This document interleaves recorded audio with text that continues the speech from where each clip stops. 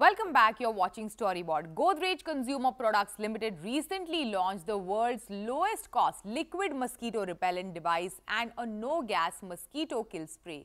The company said it is targeting over 100 million households that use the smoke intensive, local, and often illegal insecticide dipped incense sticks instead of liquid vaporizers or aerosols. I caught up with Ashwin Moorthy, Chief Marketing Officer India, Godrej Consumer Products Limited on what is the strategy to take these innovation to these households, how is GCPL re-evaluating its marketing strategy while managing macroeconomic challenges and how are they shaping their campaigns while holding the core value of the brands from ages. Ashwin, welcome to CNBC TV 18. Thanks for having me here, Shubhani. Ashwin, so this year has begun with two exciting launches from GCPL. One is the low-cost mosquito repellent machine and the other one is uh, a mosquito spray without gas. Yep. Can you tell us uh, more about these two launches and how do you intend to, uh, I believe the focus is on low-income households with these products. So how do you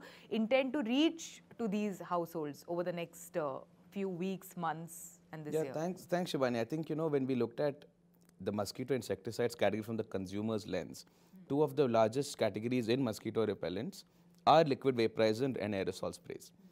But what we realized is that these two solutions were primarily accessible to urban India, uh, or, or generally upper middle middle income to middle income consumers in general.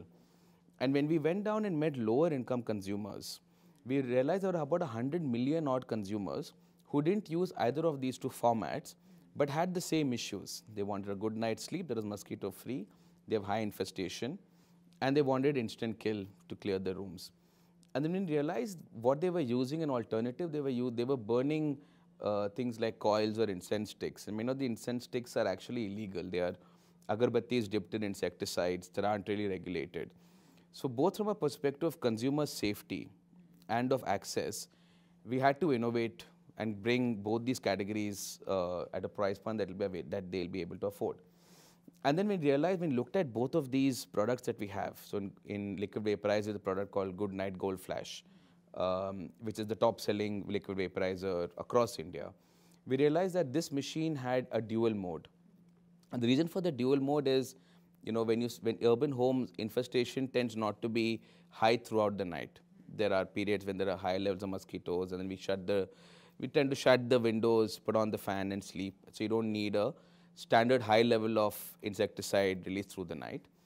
We realized that consumers in lower income households did not really need that. They tend to sleep with the windows open. So there is a kind of a regular mosquito infestation that goes through the night. So the, the reason why you can give a dual mode is because there's a chip inside, it's an electrical circuit. We removed that we also removed the plastic. So there are certain cosmetic uh, features of the Urban Flash, which is it covers the, you know, when the refill is put in, it covers that part. We removed it because we said, look, this is, may not be as necessary to, the, to consumers who want to access the benefit. So we reduced the plastic, we removed the chip, we simplified the device, and we were able to halve the price at which we could give it to consumers. Uh, so thereby really kind of expanding the access that, uh, that they got.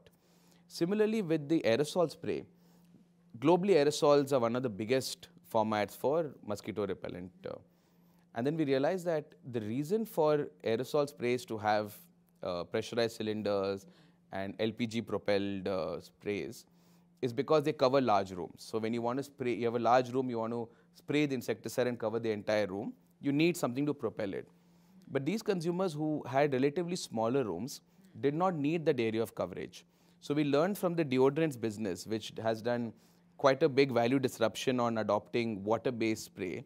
And then we realized that if you remove the pressurized cylinder and you remove the LPG propellant, you could actually give consumers really high quality, safe insecticide at a spread that works for them and you halve the price. So we removed the price, we moved it down from the mid hundreds to 50 rupees for a month protection. And now, uh, you know, the launch has happened, but uh, comes the part where, you know, it has to reach as many households that you yeah. intend to take it to. So what are the challenges when it comes to uh, creating awareness or spreading awareness of a product like this? Because all said and done, like even in rural households or you know many semi-urban areas or low-income households, as you mentioned yourself, they use um, products like incense sticks to uh, do away with the mosquitoes. There are many stores which do not keep these formats. They don't keep the Goodknight Gold Flash. They don't keep the hit aerosol sprays uh, because they were just too high and they didn't have the demand.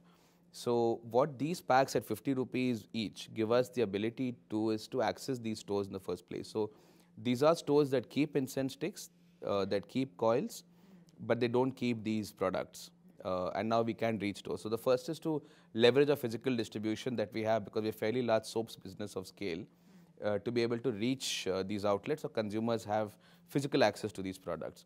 The second is on building mental availability. So both these price points will be advertised and we're also going to be investing in, in rural marketing and rural reach, uh, which we were not at the same level in the past. To get consumers who were not purchasers of Goodknight or Hit, there are quite a large number of them, 100 million is our estimation, to be aware that now these products exist and are accessible at a price that uh, they will find convenient. How significant is the insecticide repellent business for GCPL?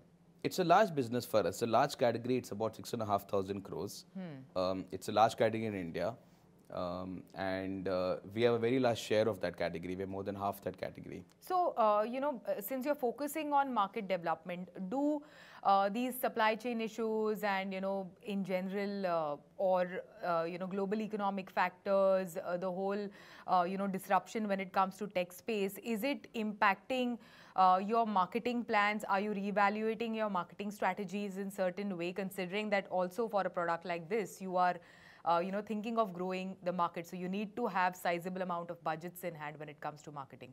No, certainly. I mean, uh, we continue to invest uh, heavily in advertising and media, hmm. and uh, we remain committed to building the access because these products will not grow hmm. unless we are able to improve our, uh, our, our ability to reach those consumers well.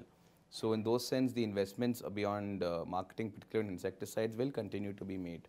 As technology improves and certain media becomes more accessible than others in terms of both its scale and its pricing. Hmm. So many parts of rural, we've discovered that rural digital is larger than TV in certain cases in driving reach. Hmm. So we kind of follow hmm. scale and we follow pricing yeah. uh, with our marketing investments. So as technology develops and as markets evolve, yeah. we will keep you know staying in pace with uh, with those opportunities there product like this which is uh, you know which is taking uh, an insecticide repellent to uh, smaller income households or uh, you know an ad by Cinthol that reflects the aspirations of women of today uh, very different from the kind of advertising that we have seen from GCPL in the past. So, are you moving towards, you know, reaching out to more Bharat, more India per se? I think it comes down to insight. So, for example, in Cinthol, there's there's a history of fine advertising, you know, mm. and uh,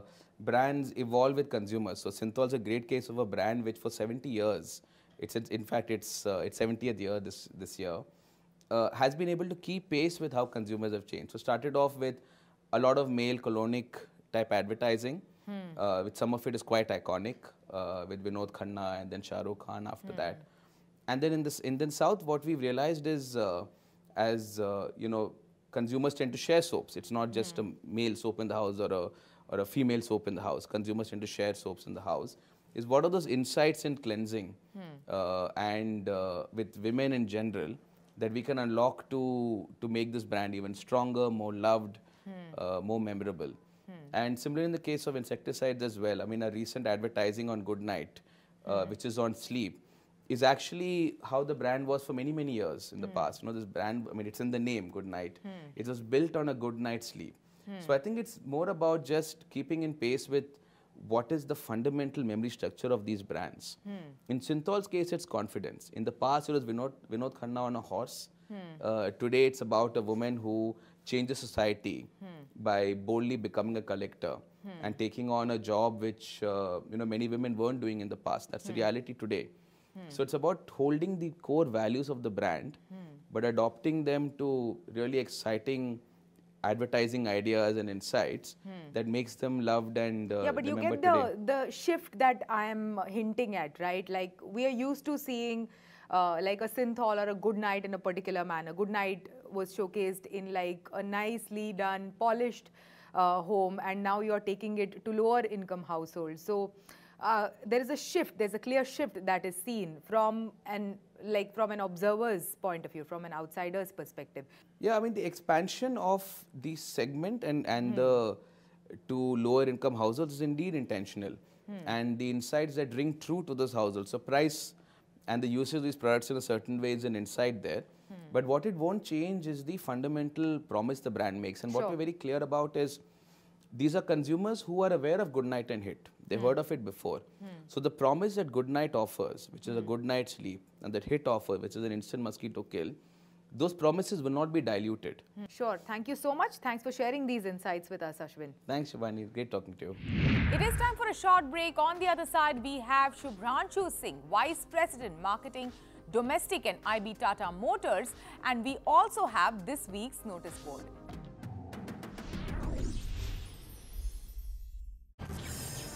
Standard Chartered presents CNBC TV